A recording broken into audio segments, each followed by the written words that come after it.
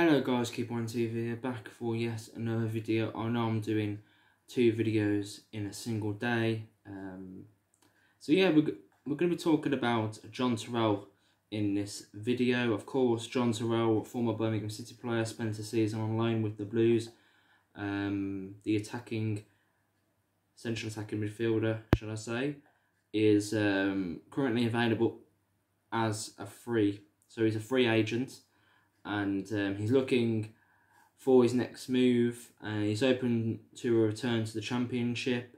Um, so yeah, let's look into um, you know what he's done the past couple of seasons. So Spaniard Toral, I'm on the Birmingham Live. Spaniard Toral, he spent the 15 yeah um, he shone and uh, he was brilliant for us, uh, wasn't he? 15-16 season yeah, we didn't um, get the playoffs, but yeah, he scored that goal against Ipswich. Um, he was a really good player that season. He got eight goals for us, making 36 appearances. Uh, of course, he was on loan from Arsenal. That goal against Ipswich he scored, though, absolutely unbelievable. And um, he got a lot of assists as well.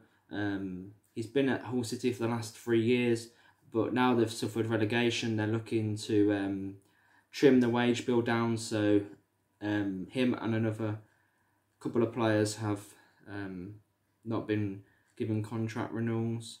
Um, he also spent. Um, he he also had uh, loan spells at Rangers and Granada. Sorry, since he last ran out for Blues. He's now eyeing another shot in the English second tier, having returned for the time being to Barcelona. So he's only still just twenty. He's only only twenty five years old, by the way, guys. He can play as a cam and as a C CM. Um, so yeah, would you guys take John Toral at Birmingham City?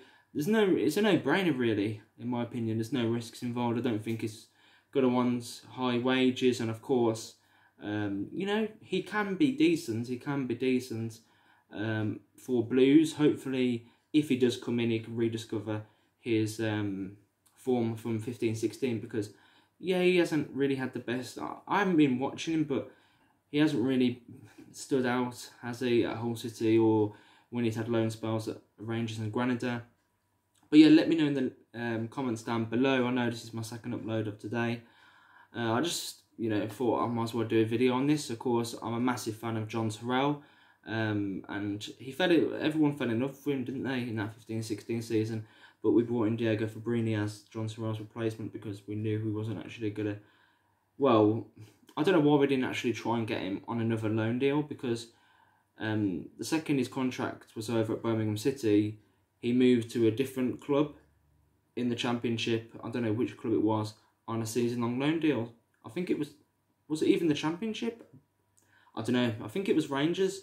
But yeah, uh, make sure to like, share, and also subscribe. It's been a quick one today.